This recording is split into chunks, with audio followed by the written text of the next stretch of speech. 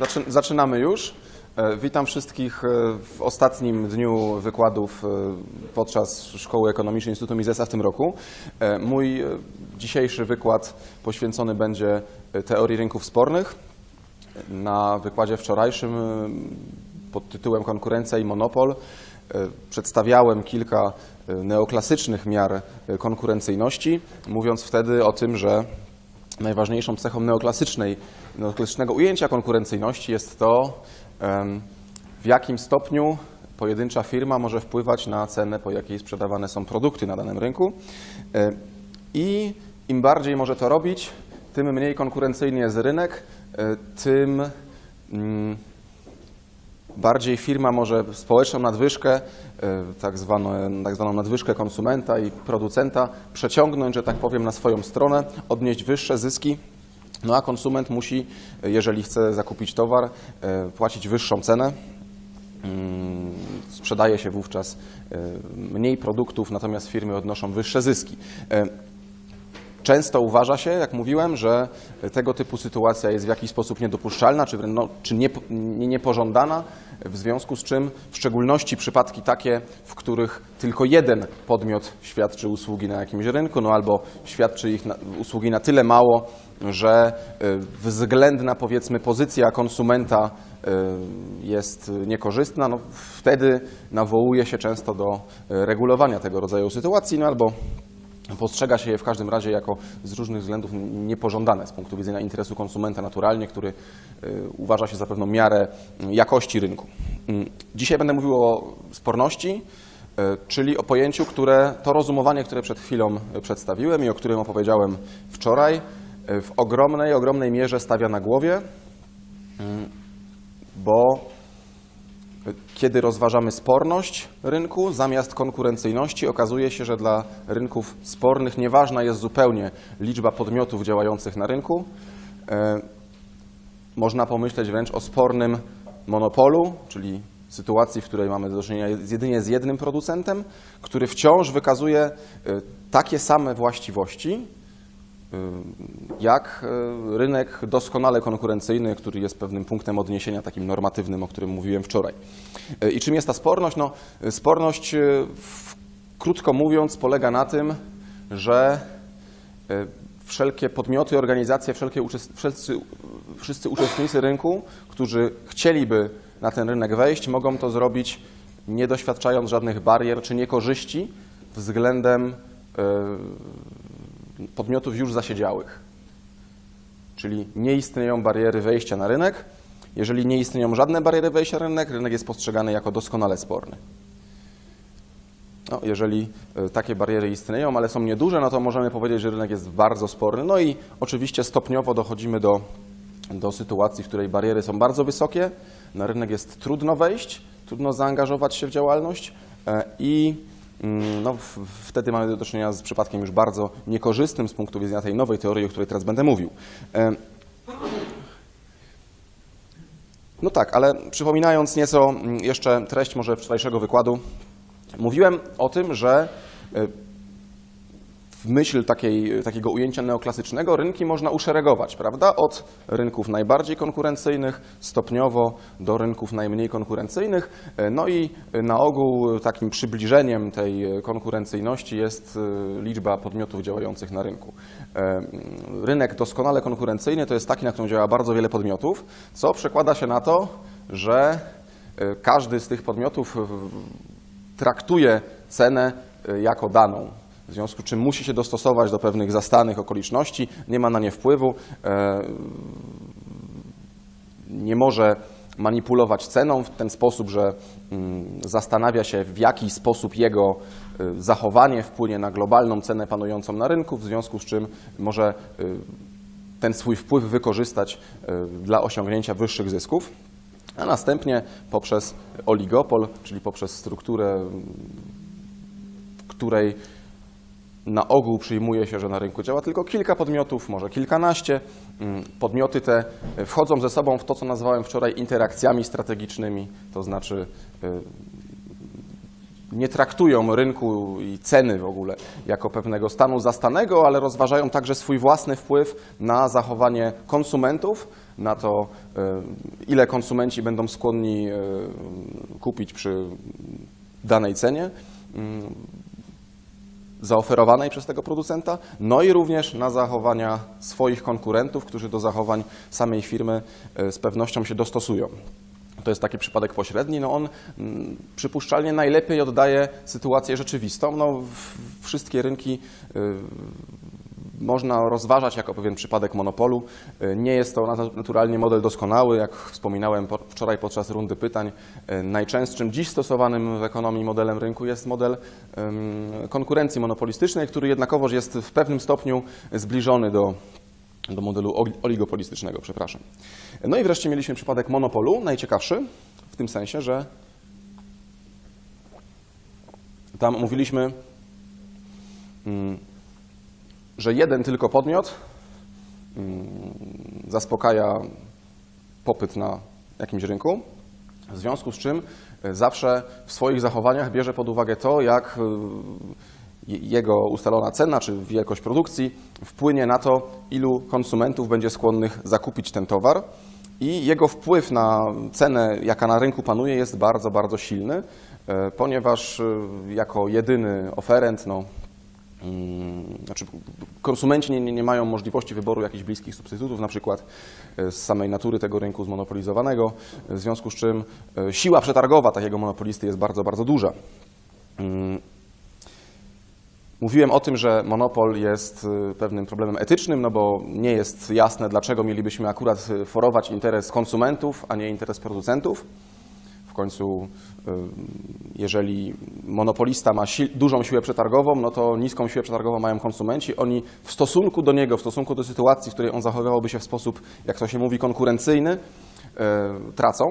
Tak, są w mniej korzystnym położeniu, natomiast no on, on jest w lepszym położeniu. Natomiast gdyby było odwrotnie, gdyby w jakiś sposób y, przekonać go, czy zmusić wręcz do tego, żeby zachowywał się jak podmiot konkurencyjny, no to wtedy mm, stałoby się to z niekorzyścią dla niego. On by rozporządzał swoją firmą, swoim majątkiem nie tak, jakby chciał. No, nie, maksymalizowałby y, użyteczności swojej własności płynącej z tego, że akurat jest właścicielem e, takiej firmy i może czerpać po prostu wysokie renty, czyli wysokie zyski nadzwyczajne z tego, że jest monopolistą. No i mówiłem tam, że mm, mamy kilka uzasadnień y, tego rodzaju regulacji forującej właśnie interes konsumenta. Y, Konsumentów jest po pierwsze więcej, wobec czego ich nacisk często jest silniejszy, zwłaszcza w państwach demokratycznych. No i mówiłem też o takim neoklasycznym bardzo pojęciu jak bezpowrotna strata społeczna mm, i w ogóle nadwyżka producenta, nadwyżka konsumenta, y, o pojęciach opartych na pewnej gotowości do płacenia, na różnicy między ceną graniczną każdego konsumenta, ceną, które, po której byłby w stanie kupić jakiś towar, określoną jednostkę towaru, a ceną, po której ją faktycznie kupuje. Mm, No, podobne, podobne pojęcia stosuje się do mm, producentów. No i przekonywałem, czy właściwie mówiłem, właściwie wzmiankowałem, że e, suma tych dwóch nadwyżek jest niższa e, w przypadku mm, rynków monopolistycznych, rynków w ogóle mniej konkurencyjnych niż bardziej konkurencyjnych. I to jest taki neoklasyczny argument za konkurencyjnością przeciwko monopolom. Mm. Y, No, mówiłem też o tym, y, że y, możemy rozważać konkurencję w sposób taki bardziej hayekowski, bardziej austriacki. Nie jako pewien, pewną, pe- pewien stan rynku, mm, oparty na tym, czy, czy, czy zbudowany na tym, że producenci mają jakiś hipotetyczny wpływ na cenę, ale na tym, że ta konkurencja, że tę konkurencję możemy rozumieć w sposób dosłowny, jako proces pewnej rywalizacji e, o zasoby w celu osiągnięcia pewnych swoich korzyści, swoich celów. Najczęściej e, takim celem będzie po prostu zysk albo jakiś inny cel natury finansowej. No i żeby ten cel osiągnąć, e, to przedsiębiorcy muszą sprzedawać swoje produkty po cenach wyższych aniżeli koszty ich wyprodukowania, czyli muszą przeprowadzać pewien arbitraż pomiędzy czynnikami produkcji, cenami czynników produkcji, a cenami produktów finalnych. W związku z tym wpływają w ten sposób sami na cenę tych e, czynników produkcji, a także na cenę produktów finalnych, dostarczając ich na rynek, e, obniżają cenę produktów finalnych e, pokazując wszystkim innym zainteresowanym stronom, y, że potrzeby konsumentów na tym akurat rynku zostały, zostają coraz lepiej zaspokojone. No a jeżeli dzieje się tak, że cena określonego y, dobra rośnie, no to jest to sygnał właśnie dla mm, konkurujących ze sobą przedsiębiorców, że warto y, sięgnąć po zasoby gospodarki i przekierować je właśnie w tym kierunku, mm, który mm, doprowadziłby do osiągnięcia przez przedsiębiorców wysokich zysków. Jest to pewien mechanizm transmisji wiedzy o ludzkich potrzebach, tak, w którym kluczową rolę pełnią właśnie przedsiębiorcy mm, dostosowujący zastosowanie zasobów y, do potrzeb konsumentów. Ci, którym się udaje zaspokoić y, potrzeby konsumentów, odnoszą zyski i zostają na rynkach. Ci, którym się to nie udaje, y, ponoszą straty i ostatecznie muszą z rynku wyjść. Mm, I teraz te dwa pojęcia, czy te dwa ujęcia może, neoklasyczne, takie na pół normatywne oraz to austriackie, dynamiczne, oparte o rozumienie pewnego procesu rynkowego i, i zachowań przedsiębiorców, którzy konkurują o zasoby, możemy włączyć do jednego, jednego konceptu, jakim jest sporność rynków. No bo mm, w przypadku rynków spornych rozważamy zarówno takie dobrobytowe aspekty rynku, jakich mówiłem wcześniej, to na ile konsument znajduje się w względnie korzystnej pozycji w stosunku do producenta, E, oraz to, w jaki sposób zachowania e, przedsiębiorców, producentów mogą doprowadzić do tego, że ten konsument rzeczywiście, przepraszam, że potrzeby tego konsumenta rzeczywiście zostaną zaspokojone w sposób najbardziej doskonały z możliwych.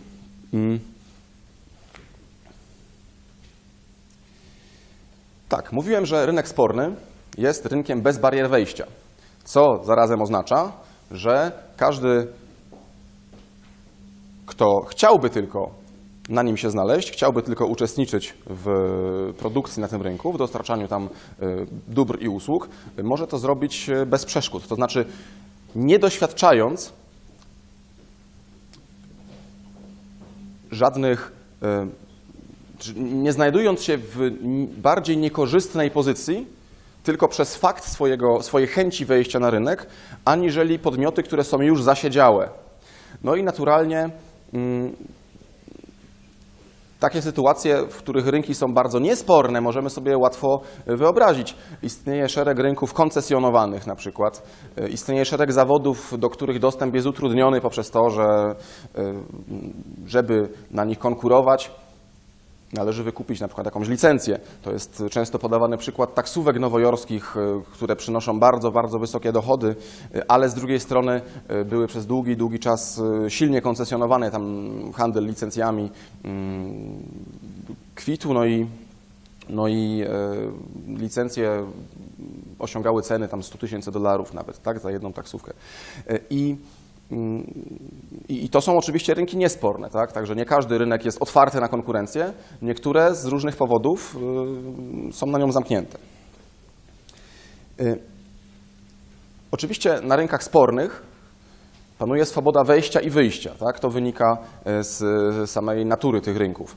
Ktokolwiek może wejść na rynek tak, bez przeszkód, ten może z niego wyjść i w związku z tym liczba firm dostosowuje się e, w sposób dynamiczny, a więc ten proces e, hajekowskiej konkurencji, tak, jako e, sterowanej motywem zysku mm, realokacji zasobów przebiega w sposób swobodny, gdzie tylko upatrzona została jakaś szansa zysku, no tam będzie ona wykorzystana. Mm. No właśnie.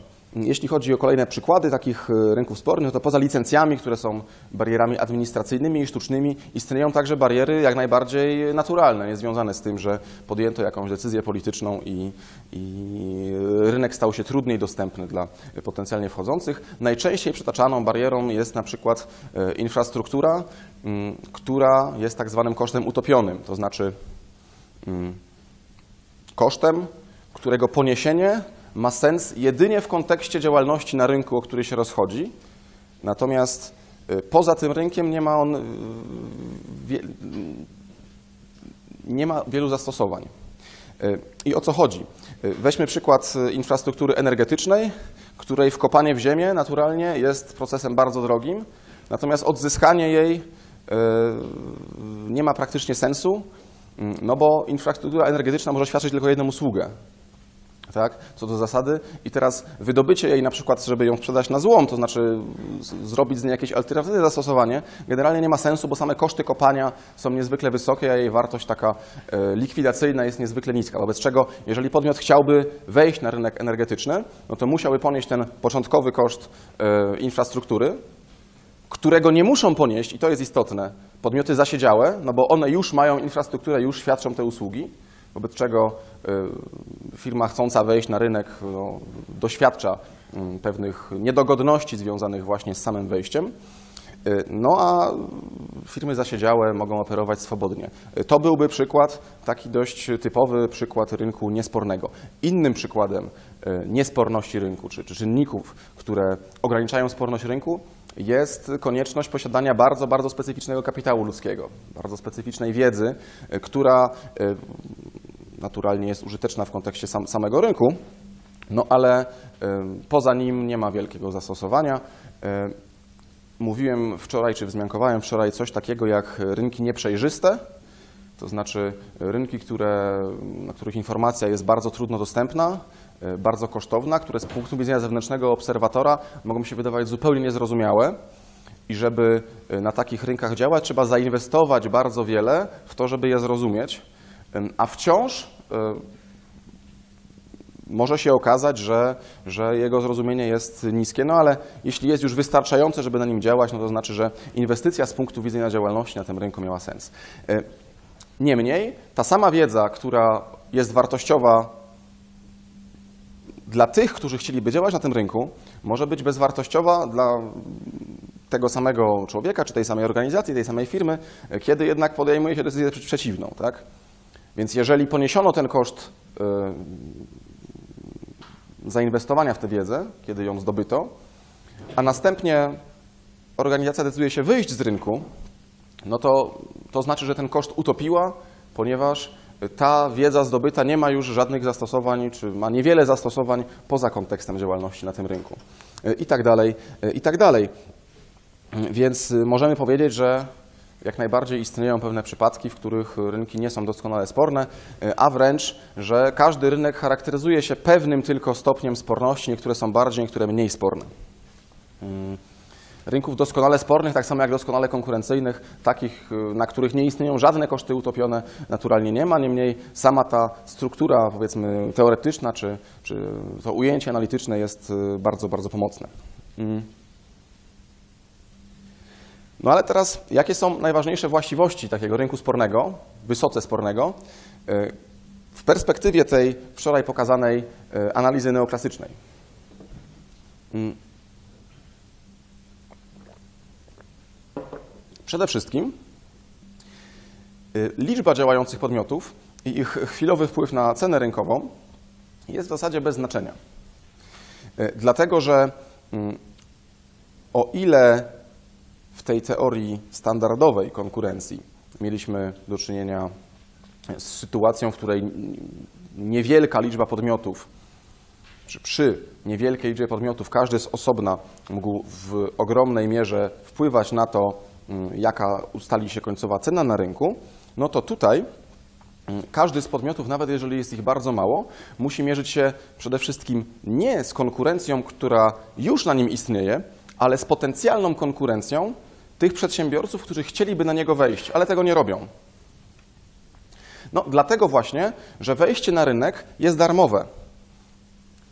W każdej chwili jest tak, że y, podmioty działające na rynku doskonale spornym y, muszą sobie uświadamiać, że jeżeli y, zachowają się w sposób, który umożliwi osiągnięcie zysku firmom wchodzącym na rynek, czy chcącym wejść na rynek, no to one same y, doświadczą jakichś y, negatywnych skutków tego zachowania, zostaną na przykład z rynku wypchnięte.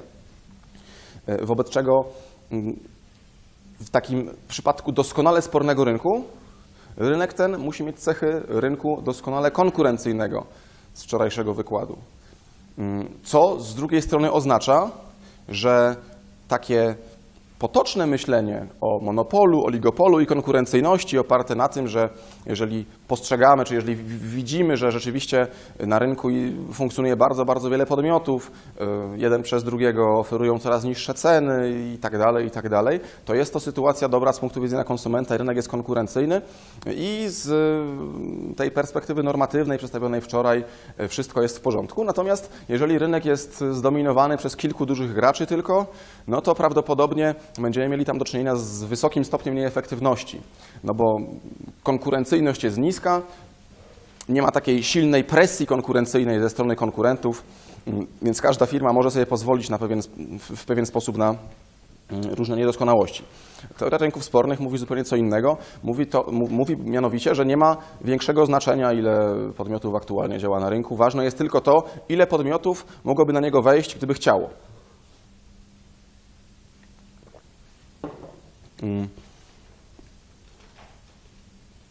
A więc ta y, permanentnia presja na efektywność jest tym, co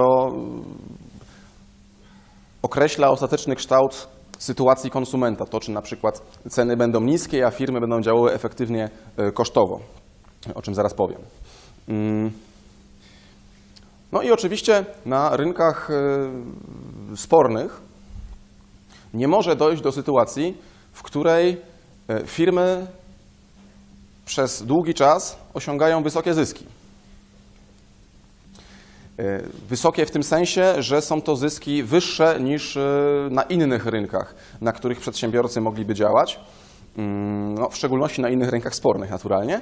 A to z tego powodu, że jako, że wejście, jak powiedziałem, jest darmowe albo prawie darmowe, no to każda firma która tylko dostrzeże y, potencjał tego mm, wykorzystania tego procesu arbitrażowego, o którym mówiłem wcześniej, na tym rynku, a dostrzeże go na pewno, no bo zyski są na nim właśnie wysokie, w związku z czym pojawia się sygnał, że konsumenci mm, wysoko cenią oferowane na nim produkty, są w stanie bez przeszkód na ten rynek wejść, dostarczać produkty po niższych cenach i wskutek tego e, procesu, tej, te, tego procesu e, odkrywania, mm, jakim jest konkurencja w rozumieniu właśnie hajekowskim, e, doprowadzą do sytuacji, w której zyski będą stopniowo spadać, no do momentu, w którym, w którym one się zupełnie, one zupełnie znikną. No ale żeby tak w ogóle nie było, tak, żeby firmy, które osiągają te wysokie zyski, nie zostały podcięte przez nowych wchodzących, no to one same już muszą antycypować, że tak powiem, tę sytuację, e, stawiając na efektywność e, i e, produkując w taki sposób, jak gdyby ta potencjalna konkurencja mm, czyhała już za drzwiami. I to jest jeden z istotniejszych, istotniejszych tutaj wniosków. Co z drugiej strony przekłada się na takie spostrzeżenie, że jeżeli mamy do czynienia z rynkiem, na którym zyski rosną, ale są bardzo wysokie, a mimo to y, podmioty się nie garną do tego, organizacje nie garną się do tego, żeby na nim działać, no to prawdopodobnie mamy do czynienia z jakimiś barierami wejścia, które to uniemożliwiają i można by zastanowić się, jak te bariery obniżać, tak? jakiej one są natury, czy one są uwarunkowane jakimiś takimi cechami związanymi na przykład z technologią produkcji, z bardzo specyficzną wiedzą, no, czy są to na przykład e, ograniczenia związane z jakimiś decyzjami administracyjnymi. E, takim rynkiem który warty jest chyba szczególnej uwagi w tym kontekście, jest rynek motoryzacyjny, bo na nim następuje od dłuższego czasu pewna konsolidacja a z drugiej strony zyski są bardzo wysokie i jakoś nie widzimy, żeby, żeby y, firmy na niego masowo wchodziły. Mm.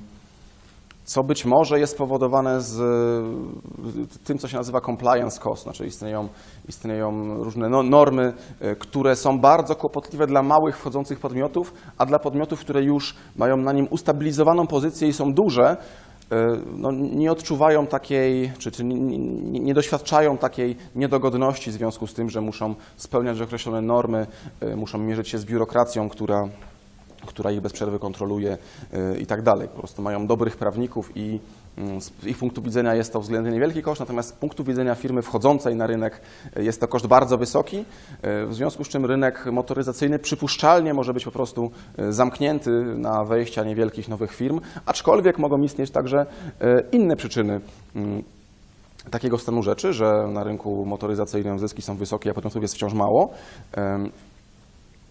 No ale y, wytłumaczenia, wytłumaczeń jest kilka, tak? To jest jedno z nich, to jest jedno z bardziej, powiedziałbym, przekonywających.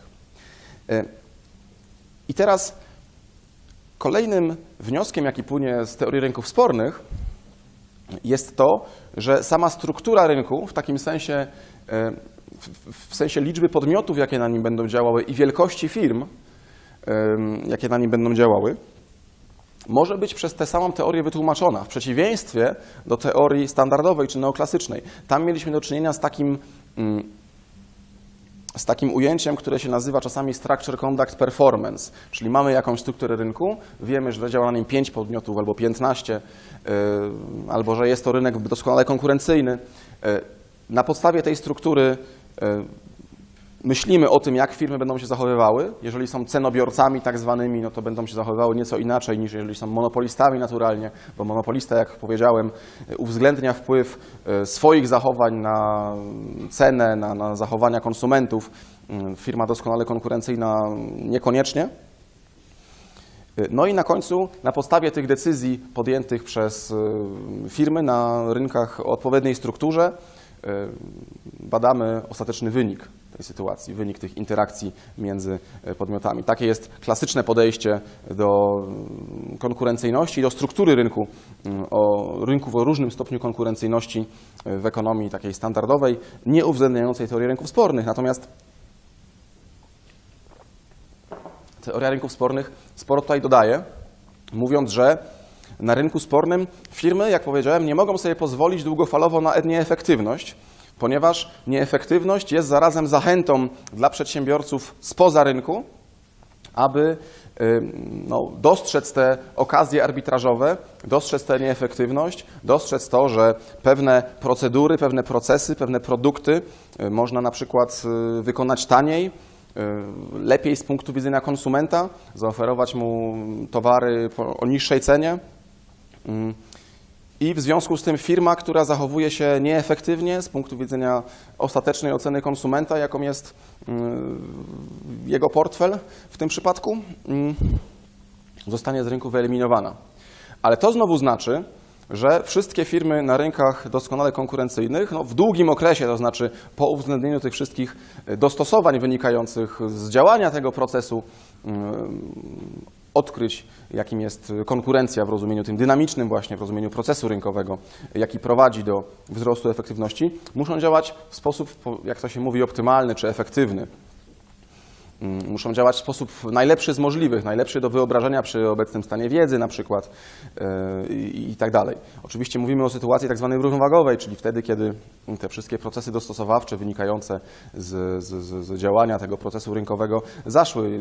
Miejmy naturalnie świadomość, że taka równowaga się nigdy faktycznie nie ustala, ponieważ, ponieważ świat jest y, zjawiskiem dynamicznym, jednak pewien kierunek mm, zmian jak mi się wydaje, kierunek ewolucji całego systemu na rynku y, spornym jest jasny. To znaczy on bardzo silnie wspiera y, efektywność, a co za tym idzie, prowadzi do ustalenia się pewnej struktury tego rynku w sposób endogeniczny.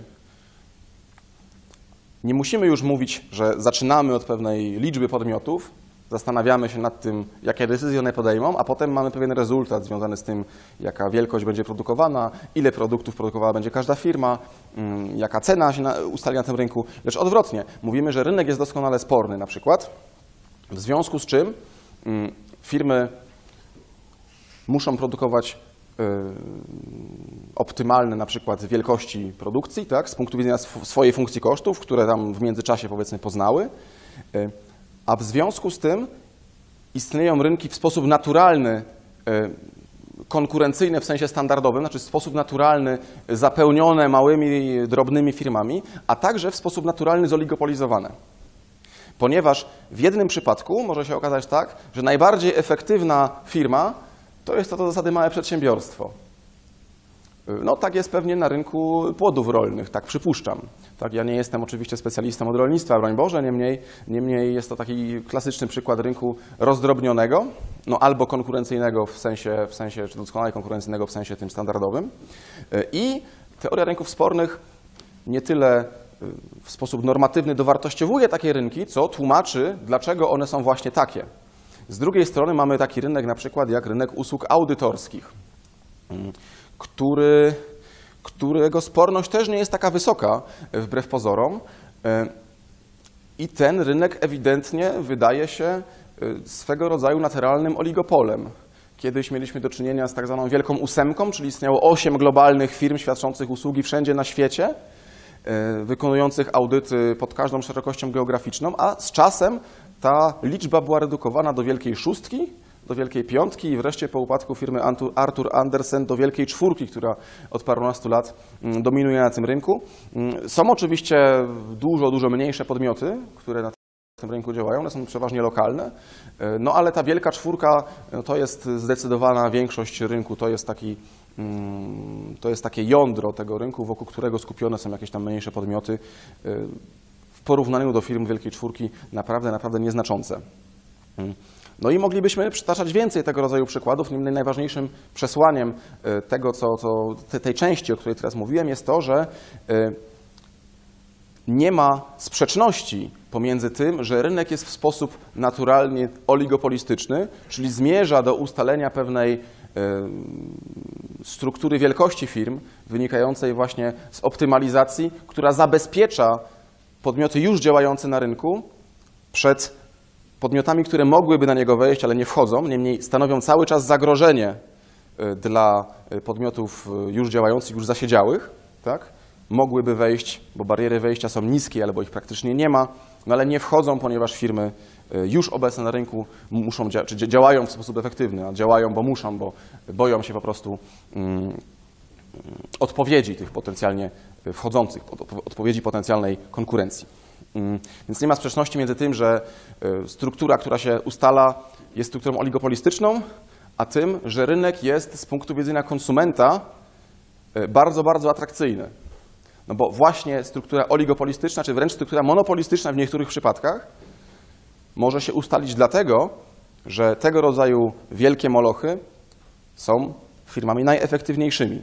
Nie ma w tym żadnej sprzeczności, a wręcz przeciwnie, jest to wynik, efektywno, wynik y, pewnego perfekcjonizmu tych firm, który jest wymuszony przez y, samą, y, samą naturę tego rynku, jaką jest niska sporność.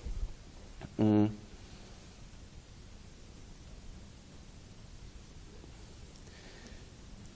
No dobrze, i teraz już ostatnie słowo właściwie tego wykładu. Mm. Jak w takim razie rozumie się regulację rynków spornych? No bo Naturalnie rynki sporne istnieją, jest ich całkiem sporo. Istnieje jednak również wiele rynków niespornych e, i tutaj e, znowu mamy do czynienia z sytuacją, w której niektórzy mogliby powiedzieć, no dobrze, skoro rynki sporne są tak e, korzystne dla konsumentów, no to być może nie powinniśmy walczyć z, o wysoką konkurencyjność w tym rozumieniu standardowym, ale powinniśmy walczyć o wysoką sporność każdego rynku bez względu na wszystko. Mm, co często się zresztą robi, y, w szczególności w przypadku, jak powiedziałem, firm y, energetycznych czy firm y, opartych o jakąś infrastrukturę, która ma, jest bardzo specyficzna i którą trudno zastosować wobec tego do, do jakichś innych modeli biznesowych niż model energetyczny tylko. Mm, no i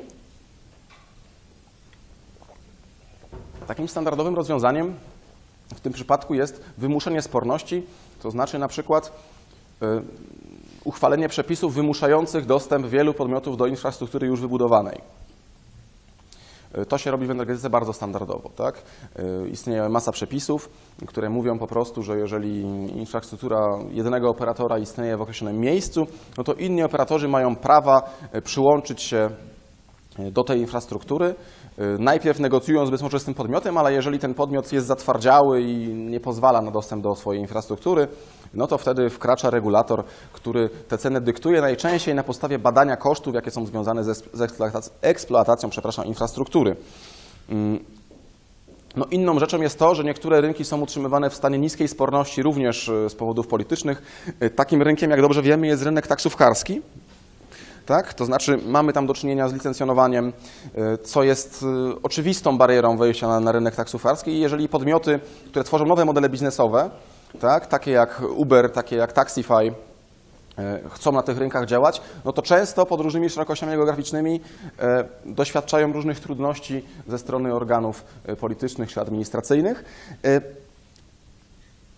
Co więcej, ja osobiście sądzę, że właśnie model Ubera, model wymyślony przez Ubera, kopiowany przez wiele różnych firm na świecie, y, to jest y, znakomity, y, to- to jest znakomita ilustracja jakby y, mariażu tego ujęcia Hayekowskiego z ujęciem y, teorii rynków spornych, którą przedstawiłem, no bo y, to jest przedsiębiorczy wysiłek, y, który poskutkował obniżeniem sporności rynku. Tak? Taki model biznesowy Ubera, nawet jeżeli samemu Uberowi się nie uda go upowszechnić, bo to też jest wątpli- wątpliwa sprawa, często się zwraca uwagę na różne trudności finansowe, w jakie Uber popada. Niemniej ten, Uber, ten model, przepraszam, jest łatwo replikowalny. To znaczy teraz s- stworzenie takiej aplikacji nie jest wielkim kosztem em, w stosunku do tego, co na rynku można zarobić przynajmniej. W związku z czym pojawia się wielu y, naśladowców modelu, mm, modelu Ubera, no, w związku z czym mm, ry- rynek przewozów pasażerskich takich w miastach mm, staje się na przykład coraz tańszy, coraz bardziej sprzyjający konsumentowi. I, i, I nawet gdyby Uber został wreszcie tym monopolistą, bo na to też się często zwraca uwagę, że Uber na przykład stosuje ceny dumpingowe wyłącznie po to, żeby z czasem y, wyeliminować wszystkich konkurentów z rynku i podnieść ceny do cen monopolistycznych mm, i dominować na rynku, osiągać gigantyczne zyski i tak dalej, stać się takim globalnym monopolistą na rynku taksówek czy parataksówek, e, no to e, w myśl teorii rynków spornych, e, którą tutaj przedstawiłem, nie byłoby to żadne zagrożenie, znaczy ten argument byłby niepoprawny.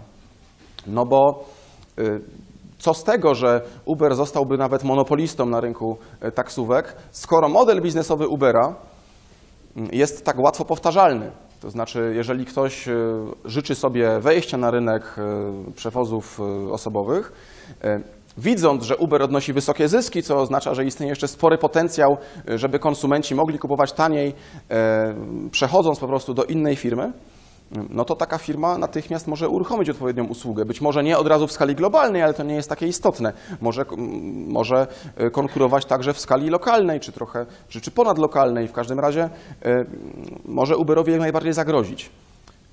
Dominacja Ubera, e, nawet jeśli jest pewnym planem kadry zarządzającej, w świetle teorii rynków spornych e, nie jest groźna. Dopóki Uber na przykład nie uzyskałby takiej pozycji, jaką obecnie mają korporacje e, taksówkarskie, to znaczy e, pozycji utrudniającej właśnie mm, innym podmiotom mm, wejście na rynek. I ten przykład, co do zasady, ilustruje pewien problem, jaki się wiąże w ogóle z regulowaniem rynków spornych. Mm, Bo tego rodzaju regulacje, mimo że jakby lokalnie są zgodne z linią tej standardowej, e, znaczy są z linią, zgodne z linią i standardowej teorii e, konkurencji, którą, o której mówiłem wczoraj, e, tej neoklasycznej, i zgodne z takim dość prostym rozumieniem teorii rynków spornych, e, to jednak nie uwzględniają właśnie dynamiki tego procesu przedsiębiorczego i konkurencyjnego, y, której motorem napędowym jest właśnie chęć zysku. To znaczy sporność rynku także jest pewną wartością, powiedziałbym, negocjowalną. W związku z czym, jeżeli na rynku o niskim stopniu sporności pojawiają się i trwają permanentnie bardzo wysokie zyski, to taka sytuacja wprawdzie nie jest y, z konieczności, y, czy nie, nie może być y, bodźcem, żeby na ten rynek wchodzić od razu. Jak powiedziałem, y, na rynkach niespornych mogą wystąpić y, wysokie zyski przez długi czas, a mimo to y, nowi konkurenci na nie nie wejdą w związku z wysokością kosztów utopionych, ale same koszty utopione także podlegają pewnej erozji w wyniku przedsiębiorczej pomysłowości. To znaczy, jeżeli widzimy taką sytuację, w której firmy od- podnoszą wysokie, odnoszą wysokie zyski, w której mamy wysokie bariery wejścia, no to pierwszą myślą takiego przedsiębiorcy, który chciałby na taki rynek wejść, nie jest to mm, jak przy wysokim koszcie wejścia i tak odnieść zysk, ale być może jak ten koszt wejścia obniżyć. W związku z czym być może y, taki przedsiębiorca będzie y,